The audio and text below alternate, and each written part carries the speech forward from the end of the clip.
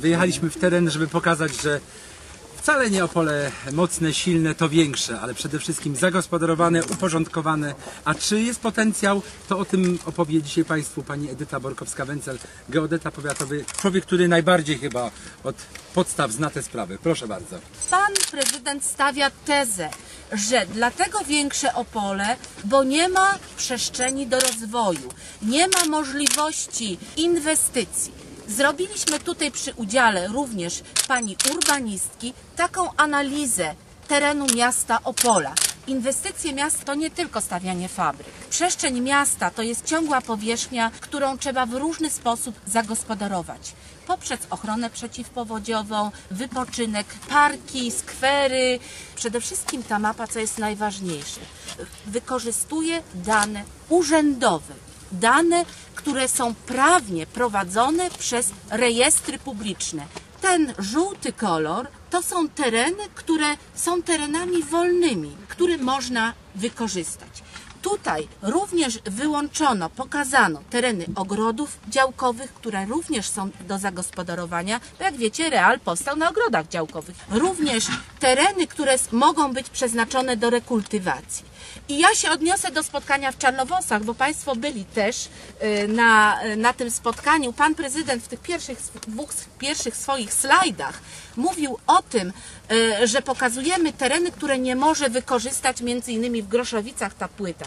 Proszę Państwa, on ma instrumenty prawne. Wszyscy mają te instrumenty prawne w postaci przepisów o rewitalizacji. Być może one weszły w życie w listopadzie, być może w całej, w całej tej zawierusze zostały niezauważone przez służby miejskie. Być może. Jaki jest potencjał? Około 3 tysięcy hektarów, także ponad 30% powierzchni miasta można wykorzystać. Zadałam sobie pytanie, dlaczego mając tyle terenów, prezydent miasta nie skłania się, żeby tutaj lokować swoje inwestycje, tylko patrzy na tereny sąsiednie, sąsiednich gmin. Plany zagospodarowania to przepustka do lokowania inwestycji. Owszem, Pan prezydent w Czarnowąsach powiedział, że również można wydać decyzję o zagospodarowaniu. To ja się pytam, to dlaczego pan ich nie wydaje, panie prezydencie? Ja zadaję takie pytanie, skoro pan ma takie tereny.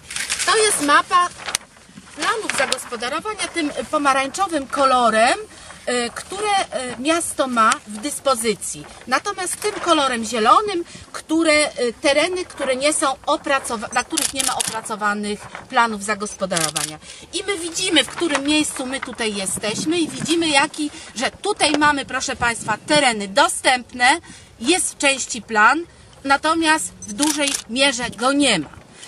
Jak przejdziemy, proszę Państwa, do mapy planów terenów sąsiednich, to tym kolorem szarym, jak Państwo widzą, to tak, tu mamy y, plany miasta, które są przeniesione, nato- natomiast mamy, tutaj też te tereny y, zainteresowania, które będą mają być przedmiotem aneksji, Czarnowąsy, Borki, Dobrzeń Mały, Krzanowice. Widzą Państwo, że tu wszędzie są opracowane plany zagospodarowania. I proszę jeszcze zobaczyć.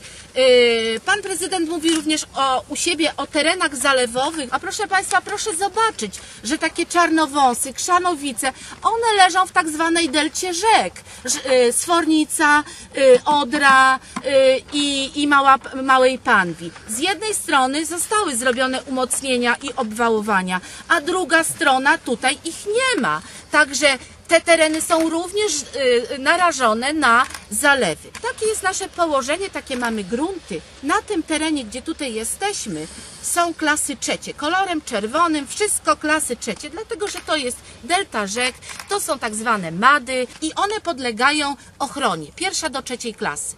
One przy opracowaniu planu, przy wydaniu decyzji o warunkach zabudowy trzeba do każdej inwestycji uzyskać zgodę ministra rolnictwa na przeznaczenie tych gruntów na inny cel niż rolny i leśny. I ta procedura trwa bardzo długo. Nie mówiąc o tym, że jeżeli jest to procedura w procesie planowania, to ona trwa około pięciu lat uchwalenie takiego planu. Proszę Państwa, Państwo wejdą na BIP Urzędu Miasta, gdzie my mamy rozpoczęte plany w latach 2000, 2006, 2007. Tam są plany, które są rozpoczęte. Dlaczego one nie są jeszcze do dzisiaj uchwalone?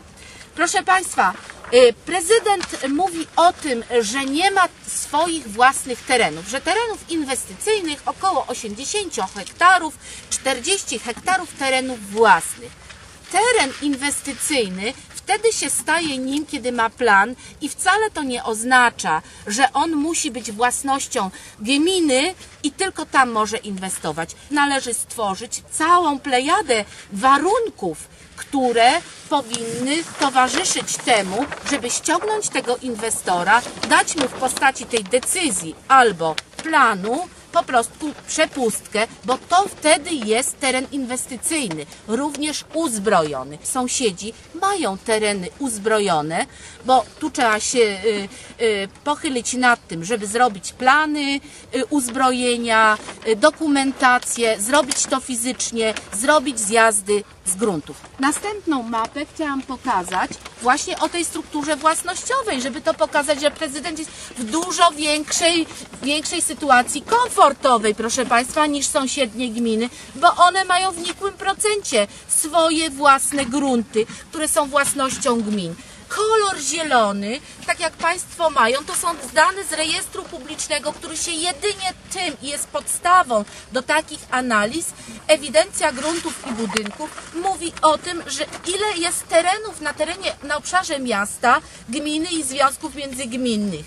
Natomiast proszę zobaczyć, ile tego jest na obszarze gmin sąsiednich. Dobrzeń, Mały Borki, Czarnowąsy, Krzanowice i tudzież y, Dąbrowa y, czy Pruszków. Nie ma takich terenów. Także ta teza też nie ma odzwierciedlenia w rejestrach publicznych, nie ma odzwierciedlenia w rzeczywistości.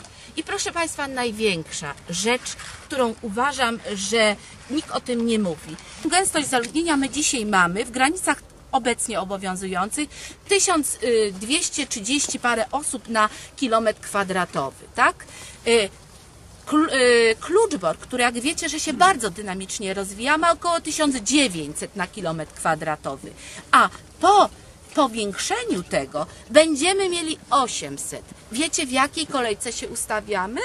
Będziemy na poziomie Krapkowic, czyli będziemy mieli bardzo wiejskie miasto, proszę Państwa. Polityka rozwoju miast 2023, która właśnie neguje takie zagadnienia, które doprowadzą, takie działania, które doprowadzą do tak zwanego rozlewania się miasta.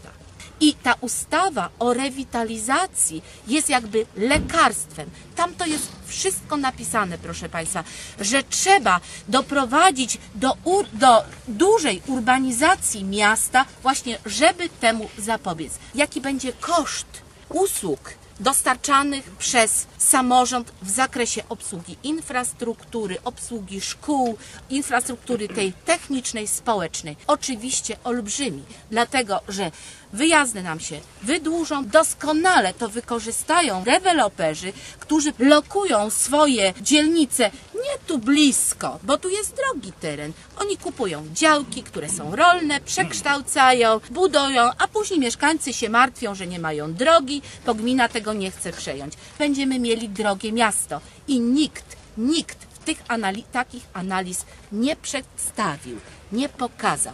Proszę zobaczyć jeszcze Malina. Piękny teren. Jak zobaczycie na plany zagospodarowania, są tereny do tej maliny. Można wykorzystać, już ona jest wykorzystywana w, celu, w celach rekreacyjnych. Y, Jest tyle wolnego terenu, no ale cóż, plany są szczątkowe znowu zagospodarowania. A co blokuje mieszkańców, że nie chcą tam budować się. Dlaczego? Dlatego kwestia dojazdu, proszę Państwa. Przeanalizowałam dojazdy w MZK. Do Maliny autobus jedzie co godzinę. Czy ktoś będzie chciał się tam budować? No nie, bo nie ma żłobki, przedszkole daleko, szkoła daleko. To wszystko są koszty. Miasto ma potencjał, może go wykorzystać, ma instrumenty prawne i ma tereny. Dlatego tutaj przy, przywieźliśmy Państwa tutaj na górę, żeby Państwu pokazać przy obwodnicy, że są tereny. Macie w materiałach więcej obszarów, również z terenu Wróblina, z terenu Maliny, pokazany zasięgiem, gdzie jest plan, a tu widzicie gołą, żywą rzeczywistość.